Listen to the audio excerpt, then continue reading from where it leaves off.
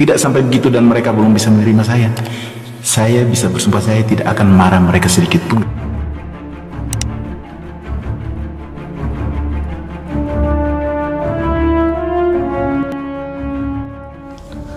Tolak ajakan Aurel Krisdayanti dan Raul malah bikin konten bareng Deddy Corbuzier.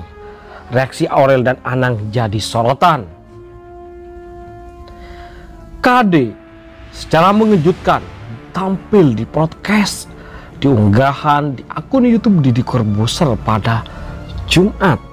Padahal saat anaknya Aurel Hermansa memintanya untuk kolaborasi membuat konten di channel YouTube-nya Krisdayanti malah secara gamblang dan tegas menolak. Ia mengatakan tidak mau ada kamera dalam perjumpaan ibu dan anak tersebut. Namun, si sulung tetap terus berusaha buat meminta bahkan tak perlu bertemu. Sekedar 10 menit ngobrol di aplikasi Zoom pun ditolak pelantun menghitung hari ini. Mimi sebulan meeting kerja pakai Zoom, juga suka pakai virtual kayak nggak nyambung, nggak biasa, kata Kadis sapaannya menjelaskan kepada Aurel Hermansa melalui WhatsApp yang viral di jagat maya. Penolakan Krisdayanti bikin konten di YouTube ini seolah berbanding terbalik dengan kehadirannya di channel YouTube punya Deddy Corbuzier. Kalau saya boleh membuka, saya berterima kasih karena telah diberikan ruang, kata Krisdayanti kepada Deddy Corbuzier. Ucapan terima kasih itu pula diucapkan Deddy Corbuzier pada Krisdayanti karena bisa menyempatkan hadir. Saya yang terima kasih dong ucapnya.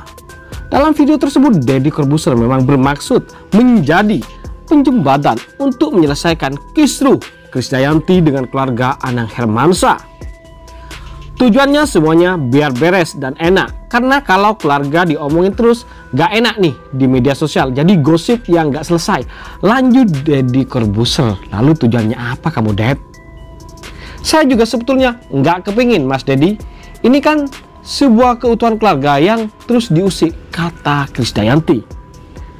Nantinya host hitam putih ini juga bakal menghadirkan Anang, Hermansa, dan Asanti guna menindaklanjuti masalah keluarga ini. Jadi buat orang yang nonton perlu diketahui juga, saya sempat menghubungi keluarga Anang Asanti ingin menyelesaikan masalah yang mungkin gak sebesar yang di berita-berita tutur Deddy Corbuzier. Itulah guys, pernyataan Deddy yang nantinya ada niatan Deddy ntar setelah selesai collabnya dengan KD ini akan menghadirkan Anang dan Asanti.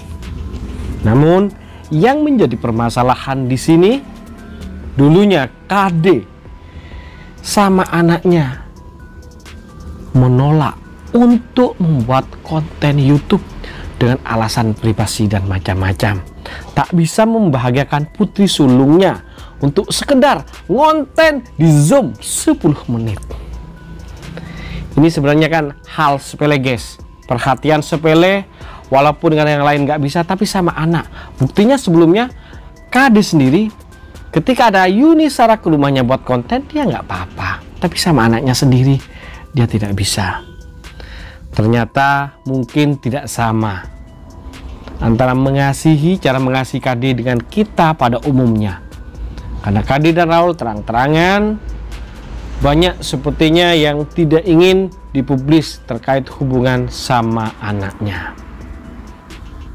Ya, sama Aurel. Tapi kenapa ya? Mimin juga kaget. Kok WhatsApp Aurel sendiri sampai dipublis? Padahal itu kan masalah privasi dia dan anaknya.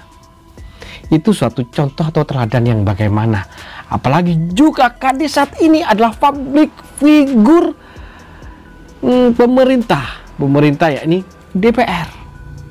Kalau sebagai artis diva ya tidak ada masalah. Tapi sebagai DPR ada kode etiknya. Kayak sempat kemarin disentil oleh Dewan Kehormatan di DPR.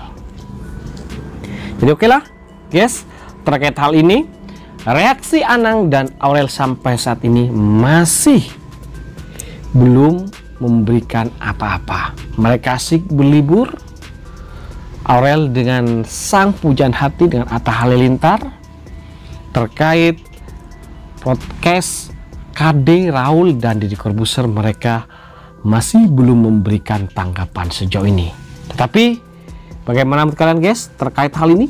Jadi jangan lupa kalian komentar di bawah, like dan subscribe. Terima kasih telah menonton. Yuk, bye bye.